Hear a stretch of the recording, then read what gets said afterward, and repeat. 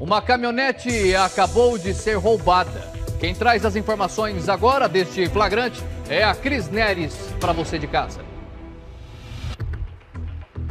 Pois é, Flávio. Então, atenção aí pro pessoal que vê uma caminhonete circulando aqui na fronteira. É provável que ela esteja na BR-277 vindo em direção à Foz.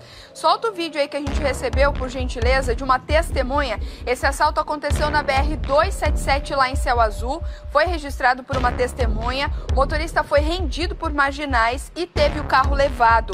É uma Ranger XLT cor cinza, placa BBD 6F70, placa BBD 6F70. É provável que esses marginais estejam vindo em direção à Foz do Iguaçu. Então, se você puder ver e ajudar aí a polícia a localizar essa caminhonete, pertence a uma vítima de assalto. Aconteceu agora há pouco lá em Céu Azul.